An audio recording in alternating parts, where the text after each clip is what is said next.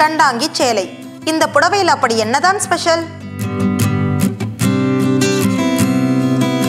தமிழ் பாரம்பரியத்தின் தனித்துவமான அடையாளங்களில் ஒன்று கண்டாங்கி சேலை. இது குறித்த கவிதைகளும் சினிமா பாடல்களும் ஏராளம்.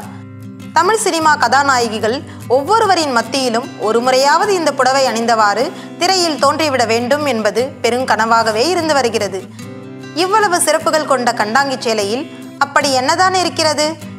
இதனுடைய வரலாறு என்பது முன்னூறு ஆண்டுகளுக்கு முன்பு தொடங்கியது.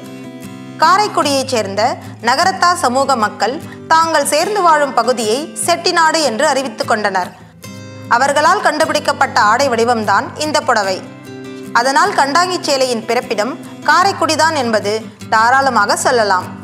பழமையான பட்டு நூல்களை கொண்டு நெய்யப்படுவதுதான் இச்சேலையின் தனிச்சிறப்பு.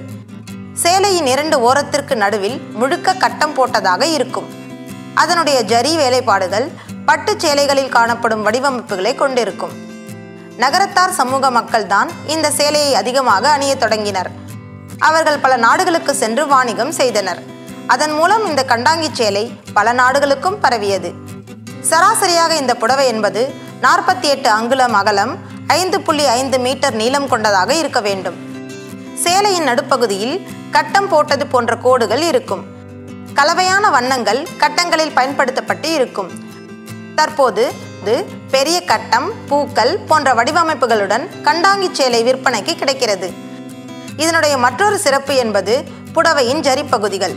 அதை நகரத்தார் மக்கள் கண்டாங்கி பார்டர் என்று குறிப்பிடுகின்றனர்.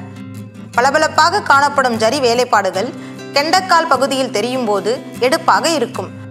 அதன் காரணமாக கெண்ட அங்கி என்று செயலை கூறப்பட்டது. அதுவே மருவி கண்டாங்கி ஆகிவிட்டது. பொதுவாகவே கண்டாங்கி புடவைகளில் ரசாயன கலவை இருக்காது. எப்போதுமே இயற்கையாக கிடைக்கும் சாயங்களை வைத்துதான் நெய்யப்படுகிறது. அதனாலேயே வெளிநாடுகளில் இந்த சேடைகளுக்கு மிகப்பெரிய மவுசு உள்ளது. பல நாடுகளில் வசிக்கும் தமிழர்கள் பலர் இந்த சேலையை மிகவும் விரும்பி அணிகின்றனர். கண்டாங்கி சேலைகள் கோபுரம் மயில் யானை இலை கொடி வைரம் பட்டாம்பூச்சி அன்னப்பறவை என ஏகப்பட்ட ஓவியங்கள் கொண்டு வடிவமைப்பு செய்யப்படுகிறது. இதனுடைய ஆரம்ப விலை என்பது ரூபாய் ஆயிரமாக உள்ளது. வடிவமைப்பு மற்றும் தயாரிப்பு நுட்பத்திற்கு ஏற்றவாறு சேலையின் விலையில் மாறுபாடு இருக்கும். கண்டாங்கி சேலையையும் தமிழ் சினிமா கதாநாயகிகளையும் பிரிக்கவே முடியாது.